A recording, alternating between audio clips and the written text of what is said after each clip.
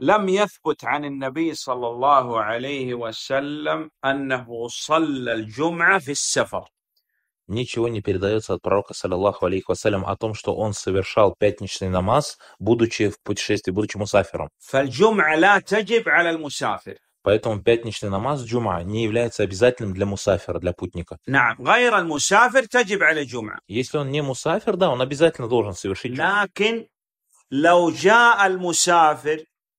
لكن لو جاء المسافر وحضر الجمعة ها Поэтому если мусафир э, посетит джума, посетит мечеть, застанет джума, سواء كان هو خطيب الجمعة وهو مسافر أو مأموم يص- تصح الصلاة من الجمعة независимо от того, сам он эту джума дает, хаты, проповедник, или же он стоит за проповедником, за имамом, то его намаз действителен, джума Да. действительно его.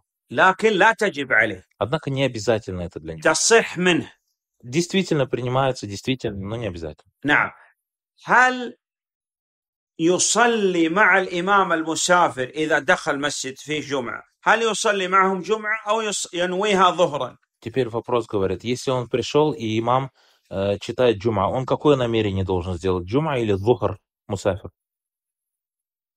الله أعلم А Шейх говорит, Аллаху алим, Аллаху лучше ведом. تمام هل يصح أنه يجمع بين الجمعة والعصر Теперь, المسافر إذا صلى الجمعة مع الإمام ونوى بها الجمعة هل يجمع مع الجمعة العصر الشيخ بن عثيمين رحمه الله تعالى يقول لا لا العصر يجمع مع الظهر ولا يجمع مع الجمعة فماذا يصنع يصلي العصر في وقته نعم Шейх говорит, теперь вопрос. Если же мусафир пришел на джума, застал джума, и с намерением джума прочитал за имамом эти два ракат, может ли он объединить и сразу совершить аср?